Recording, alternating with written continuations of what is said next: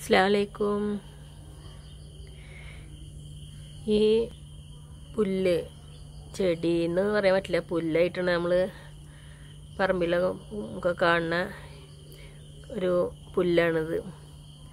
പണ്ട് മദ്രസയിൽ സ്കൂളിലൊക്കെ പോകുമ്പോൾ സ്ലൈറ്റൊക്കെ ഉപയോഗിക്കുമ്പോൾ മഷിത്തണ്ടായിട്ട് ഒക്കെ ഉപയോഗിച്ചിരുന്ന ആ ഒരു പുല്ലാണിത്. കണ്ടിട്ട് മനസ്സിലാവണില്ലേ?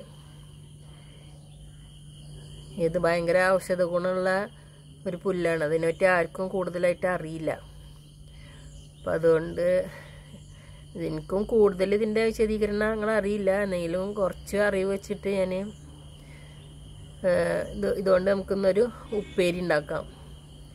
അപ്പം അതിന് നമുക്കിതൊന്ന് പറിച്ചെടുക്കണം.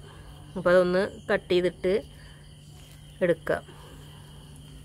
തണ്ടോടുകൂടി കട്ട് ചെയ്തിട്ട് എടുക്കുക അതിന്റെ വേരോട് കൂടെ ഉപയോഗിക്കുന്നത് ഭയങ്കര ഔഷധ ഗുണമുള്ള ഒരു ഇതാണ്. എന്തിനൊക്കെ എന്നുള്ള കാര്യമായിട്ട് എനിക്കറിയില്ല. ഞാൻ എവിടെയോ വായിച്ചിട്ടുണ്ട് ഇതിന്റെ ഗുണങ്ങളെ പറ്റിയിട്ട്. എനിക്ക് എനിക്ക് ഓർമ്മ ഇപ്പോൾ വരണില്ല. എന്താണ് അതിന്റെ ഗുണങ്ങൾ എന്നുള്ളത്. അപ്പോൾ ഇത് നമുക്കൊന്ന് കട്ട് ചെയ്തെടുക്കാം.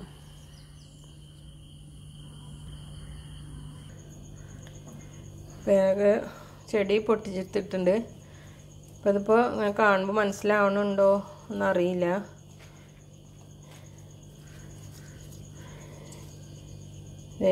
ഒരു ചെടിയാണ് പുല്ലാണ്.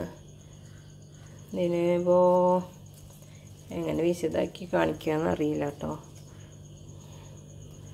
ഇതിനെന്തോ വേറൊരു പേരും കൂടെ പറയും മഷിത്തണ്ട് എന്നൊക്കെ സ്കൂ മദ്രസയിലോ സ്കൂളിലൊക്കെ പഠിക്കണ അവസരം അങ്ങനെ പറഞ്ഞു കേട്ടിപ്പോൾ ഇനി പറയുന്ന പേരെന്താന്ന് എനിക്ക് ശരിക്കും ഓർമ്മ വരുന്നില്ല. അപ്പോൾ കണ്ടിട്ട് മനസ്സിലാവുമെന്ന് വിചാരിക്കുന്നു. പിന്നെ ഇത് നന്നായി ഒന്ന് കഴുകി വൃത്തിയാക്കണം. കാരണം നല്ല അങ്ങനെ നിലത്ത് ഇങ്ങനെ ഇതായി നിൽക്കണ കാരണം നന്നായി മണ്ണൊക്കെ ഉണ്ടാവും.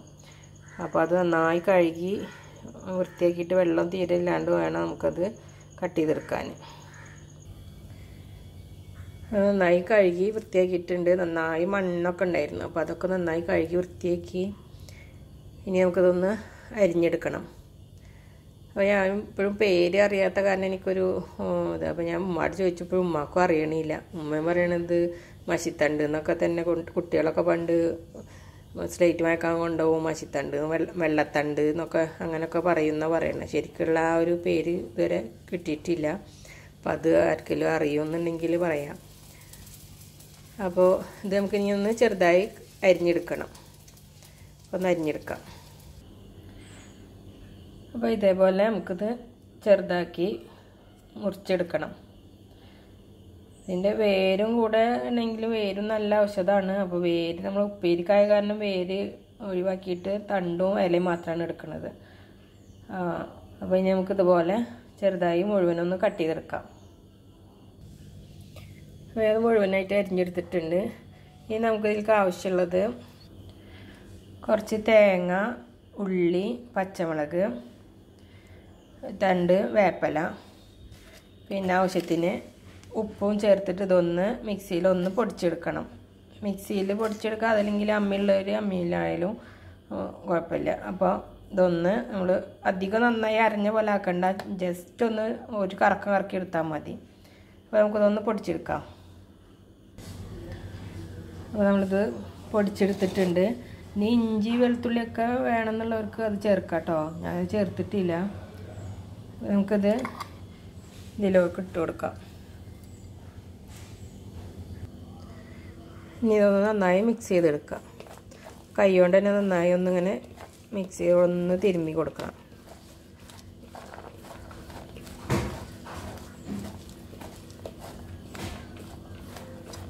അപ്പോൾ അതിന് നമുക്ക് ചട്ടി അടുപ്പത്ത് വെക്കാം. അത് മിക്സ് ചെയ്തെടുത്തിട്ടുണ്ട്. ഞാൻ ഇവിടെ മൺകലാണ് വെച്ചിട്ടുള്ളത്. അപ്പോൾ അതിൽ എണ്ണ ഒഴിച്ചിട്ട് കുറച്ച് എണ്ണ ഒഴിച്ചിട്ടുണ്ട്. അധികം എണ്ണ ഒന്നും വേണ്ട. നമുക്ക് കടുക് പൊട്ടാനുള്ള എണ്ണ മാത്രം മതി. കുറച്ച് എണ്ണ ഒഴിച്ചിട്ടുണ്ട്. നമുക്ക് നമുക്ക് ആവശ്യത്തിന് കടുക് പൊട്ടിച്ചെടുക്കാം.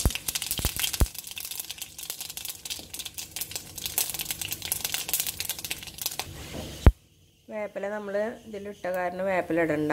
അതിട്ട് ഒന്ന് ഇട്ട് കൊടുക്കാം.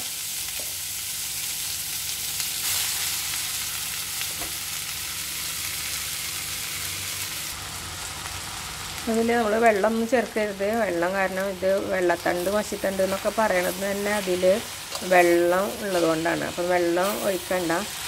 ഇത് നന്നായി ഒന്ന് മിക്സ് ചെയ്തിട്ട് നമ്മൾ തേച്ചെടുക്കുക മൂടി വെക്കുകയും ചെയ്യണ്ട. മൂടി വെച്ച് കഴിഞ്ഞാൽ നന്നായി വെള്ളം ഊറി വരും. അപ്പോൾ അതൊന്ന് വേവുന്ന വരെ നമ്മൾ തുറന്നിട്ട് തന്നെ ഒന്ന് വേവിച്ചെടുത്താൽ മതി. അത്ര നല്ല വേവൊന്നും ഉണ്ടാവില്ല. ഉള്ള സാധനം ഒന്നല്ല പെട്ടെന്ന് വേവും ചെയ്യും. അപ്പോൾ മൂടി വെച്ച് കഴിഞ്ഞാൽ വെച്ചാൽ വെള്ളം ഊറി കഴിഞ്ഞ് പിന്നെ വറ്റിച്ചെടുക്കണ്ടേ? അപ്പോൾ അത് അതുകൊണ്ടാണ് മൂടി വെക്കണ്ടെന്ന് പറയണത്. ഇനി അങ്ങനെ വേവ് ഇതാവും തോന്നുന്ന ആൾക്കാർക്ക് വേണമെങ്കിൽ ഒന്ന് മൂടി വെച്ചിട്ട് പിന്നെ വെള്ളം വരികയാണെങ്കിൽ ഒന്ന് വറ്റിച്ചെടുത്താൽ മതി. അതൊന്ന് വേവിച്ചെടുക്കാം. അങ്ങനെ വെള്ളം ഇങ്ങനെ നമ്മൾ സൈഡിലേക്ക് ഇതാക്കി കഴിഞ്ഞാൽ വെള്ളം അങ്ങനെ ഊറി വരും. അപ്പോൾ അതൊന്ന് വറ്റിച്ചെടുക്കാം. അപ്പോൾ അത് വറ്റിനോടുകൂടെ ഇത് വേവുകയും ചെയ്യും. മൂടി വെച്ചാലും കുഴപ്പമൊന്നുമില്ല. എന്നാലും അതിൽ വരുന്ന വെള്ളം എന്തായാലും വരും. അപ്പോൾ പെട്ടെന്ന് വേവണം എന്നുള്ള ആൾക്കാർക്ക് പെട്ടെന്ന് വേവും. അധികം വേവൊന്നുമില്ല.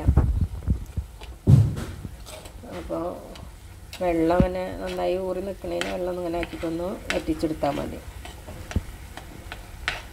നല്ല ടേസ്റ്റാണ് പിന്നെ ഭയങ്കര ഔഷധവും ഗുണമുള്ള ഒരു പുല്ലും കൂടെയാണ്. അപ്പോൾ അത് ഫുള്ള് വേര് ഇല തണ്ട് എല്ലാം കൂടെ ഉപയോഗിക്കണതാണ് ഏറ്റവും നല്ലത്. അത് ഇപ്പോൾ ഞാൻ ഉപ്പേരിക്കായതുകൊണ്ടാണ് ഇങ്ങനെ വേര് കളഞ്ഞിട്ട് ഉപയോഗിക്കുന്നുണ്ട് അപ്പോൾ ഇൻഷാല്ല എല്ലാവരും ട്രൈ ചെയ്ത് നോക്കാം. പിന്നെ ചെറിയൊരു ഇതിന് ഈ ചെടിക്ക് ഒരു മണം ചെറിയൊരു മണം. അതും നല്ല മണമാണ് ഒരു എന്താ പറയുക നമ്മൾ പൊട്ടിക്കുമ്പോൾ തന്നെ നമുക്ക് അതിന്റെ ആ ഒരു മണം അറിയാം. അപ്പോൾ മണം കുഴപ്പമൊന്നുമില്ല. അപ്പോൾ നമ്മളെ ഉപ്പേരി ഇവിടെ റെഡി ആയിട്ടുണ്ട്. നമുക്കത് കുറച്ചും ഇങ്ങനെ വെള്ളം ഊറി വരുന്നുണ്ടെങ്കിൽ അതിനനുസരിച്ച് നമുക്കത് വറ്റിച്ചെടുക്കാം. അങ്ങനെ.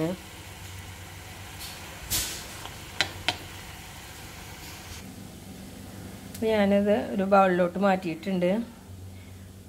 അപ്പോൾ നമ്മളെ വീടിന് ചുറ്റുഭാഗത്തുമുള്ള പലതരം ഇലകളും പുല്ലുകളും ചെടികളൊക്കെ നമുക്ക് ഭക്ഷണമായിട്ട് ഉപയോഗിക്കാൻ പറ്റുന്ന ഒരുപാട് സാധനങ്ങളുണ്ട്. നമ്മളതൊന്നും അറിയാണ്ടും അറിഞ്ഞിട്ടും ഉപയോഗിക്കാണ്ട് ഇരിക്കുന്ന കുറേ സാധനങ്ങളാണ് അപ്പോൾ നമ്മൾ ഈ വിഷമുള്ള സാധനങ്ങളൊക്കെ വാങ്ങി ഉപയോഗിക്കണേക്കാളും നല്ലത് ഇങ്ങനെയുള്ള ഔഷധ ഗുണങ്ങളുള്ള ഒരുപാട് സാധനങ്ങൾ നമ്മൾ നമ്മളെ ചുറ്റുഭാഗത്തു നിന്ന് പൊട്ടിച്ചിട്ട് കറിയായിട്ടും ഉപ്പേരിയായിട്ടും വറവായിട്ട് എന്തായാലും നമുക്ക് ഉപയോഗിക്കാം.